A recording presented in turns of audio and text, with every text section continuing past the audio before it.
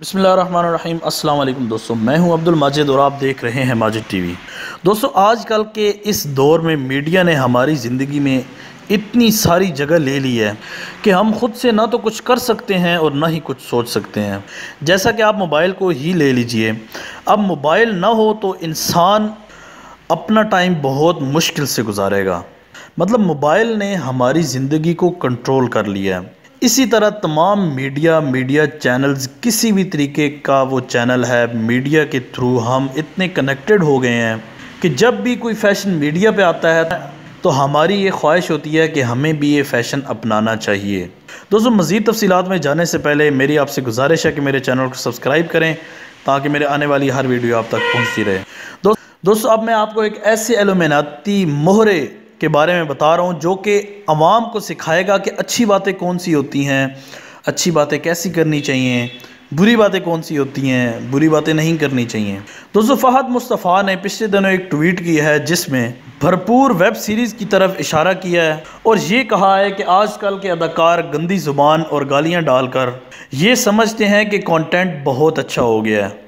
اور یہ بات ان کو سمجھ نہیں آتی کہ اس کو کانٹینٹ نہیں بولتے، بلکہ ایسی فلموں کو پون فلمیں کہا جاتا ہے۔ دوستو، اس کے بعد لوگوں نے کہنا شروع کیا کہ فاد مصطفیٰ نے حال ہی میں جو ویب سیریز ریلیز ہوئی ہے میوش حیات اور دوسرے اداکاروں کی، اس نے ان پر بات کی ہے۔ لیکن بعد میں فاد مصطفیٰ نے اپنی صفائی میں یہ کہا کہ میں نے میں نے اس کے بارے میں کوئی بات نہیں کی، یہ کسی اور چیز کے بارے میں میں نے بات کی ہے۔ اب آتے ہیں فہد مصطفیٰ کی حقیقت پر۔ دوسرو فہد مصطفیٰ جتنا بڑا ایلومیناتی کا ممبر ہے، اتنا شاید ہی کوئی پاکستان میں ہوگا۔ اور اس نے جس طرح مسلمانوں کو اور خاص طور پر پاکستانیوں کو نقصان پہنچایا ہے، اس کی کوئی مثال نہیں مل سکتی۔ اس کے لیے کوئی معافی نہیں ہے، کیونکہ جس طرح اس نے رمضان کے اندر رمضان کا تقدس پمال کیا ہے اور انتہائی گھٹیا طریقے سے ایک ایسی چیز کے پیچھے لگا دیا ہے۔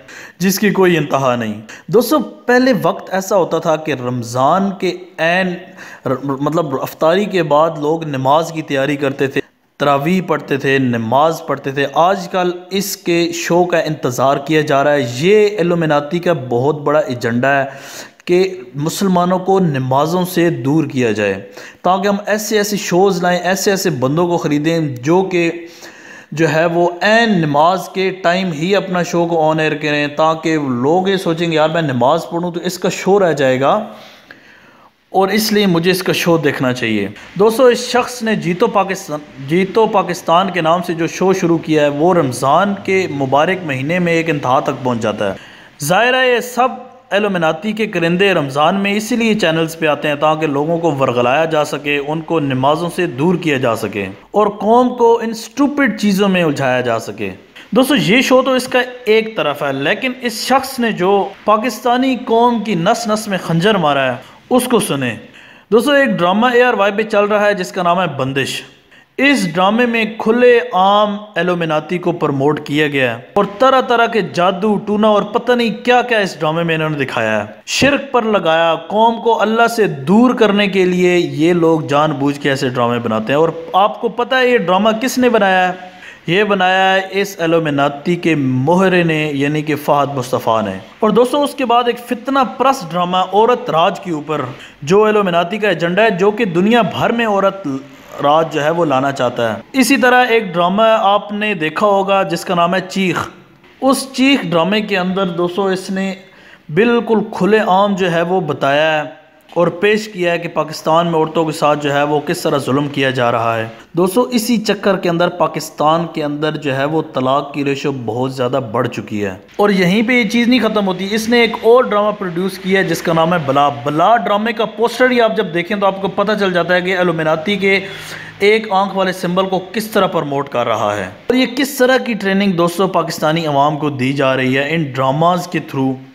دوستو، اس کو سمجھیں، یہ بہت بڑا ایلومیناتی کا ایجنڈا ہے، جو کہ اب پاکستانی ڈرامہ میں بھی گھس گیا ہے۔